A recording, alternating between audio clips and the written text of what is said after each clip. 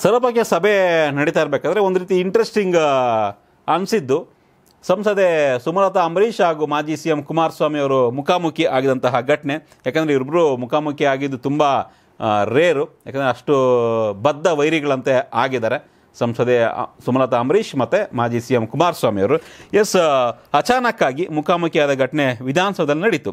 ಕಾವೇರಿ ಹೋರಾಟದ ಹಿನ್ನೆಲೆ ಹಾಗೂ ರಾಜ್ಯ ಸರ್ಕಾರ ಏನು ಸರ್ವಪಕ್ಷ ಸಭೆ ಕರೆದಿತ್ತು, ಈ ಸಭೆಯಲ್ಲಿ ಭಾಗಿಯಾಗೋದಕ್ಕೆ ಲಿಫ್ಟ್ನಲ್ಲಿ ಸಂಸದೆ ಸುಮಲತಾ ಅವರು ಮೂರನೇ ಮಹಡಿಗೆ ತೆರಳುತ್ತಾ ಇದ್ದರು.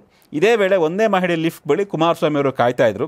ಲಿಫ್ಟ್ನಲ್ಲಿ ಮೂರನೇ ಮಹಡಿಗೆ ಹೋಗೋದಕ್ಕೆ ಮುಂದಾದ, ಮುಂದಾದಾಗ ಕುಮಾರಸ್ವಾಮಿ ಅವರಿಗೆ ಸುಮಲತಾ ಅಂಬರೀಷ್ ಎದುರಾದರು. ಅಚಾನಕ್ಕಾಗಿ ಸಂಸದೆ ಸುಮಲತಾ ಅಂಬರೀಷ್ ಅವರ ಮುಖಾಮುಖಿಯಾದ ಎಚ್ ಡಿ ಕುಮಾರಸ್ವಾಮಿ ಅವರು ಒಂದು ಕ್ಷಣ ಒಂದು ರೀತಿ ವಿಚಲಿತರಾದರು.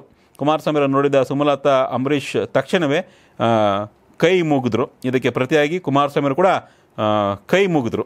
ಲಿಫ್ಟ್ನಲ್ಲಿ ಒಂದನೇ ಮಹಡಿಯಿಂದ ಮೂರನೇ ಮಹಡಿ ತಲುಪಿದ ಬಳಿಕ ಸುಮಲತಾ ಅಂಬರೀಷ್ ಹಾಗೂ ಎಚ್ ಡಿ ಕುಮಾರಸ್ವಾಮಿ ಅವರು ಪ್ರತ್ಯೇಕವಾಗಿ ತೆರಳಿದ್ರು. ಅಲ್ಲೇ ಸಭೆಯಲ್ಲೂ ಕೂಡ ಜೊತೆ ಜೊತೆಯಲ್ಲಿ ಹಿಂದೆನೇ ಇದ್ದರು ಕುಮಾರಸ್ವಾಮಿ ಹೋಗ್ತಾ ಇದ್ರೆ ಹಿಂದೆ ಸುಮಲತಾ ಅಂಬರೀಷ್ ಹೋಗ್ತಾ ಇದ್ದರು ಯಾಕೆ ಇವ್ರ ವಿಚಾರ ಅಂದರೆ ಎರಡು ಸಾವಿರದ ಹತ್ತೊಂಬತ್ತರ ಲೋಕಸಭಾ ಚುನಾವಣೆ ಏನಾಯಿತು ಮಂಡ್ಯಗೆ?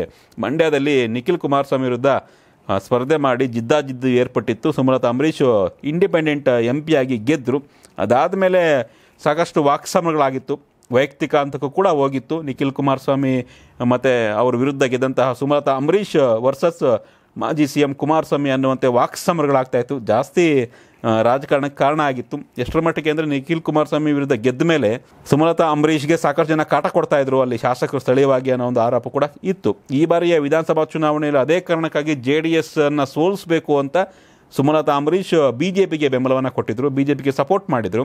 ಹೀಗಾಗಿ ಮಂಡ್ಯದಲ್ಲಿ ಈ ಬಾರಿ ಜೆ ಡಿ ಎಸ್ನವರು ಸೋತು ಸುಣ್ಣ ಆದರು. ಅದಕ್ಕೆ ಒಂದು ರೀತಿ ಪರೋಕ್ಷ ಕಾರಣ ಸುಮಲತಾ ಅಂಬರೀಷ್ ಅಂದರೆ ತಪ್ಪಾಗಲಿಕ್ಕಿಲ್ಲ.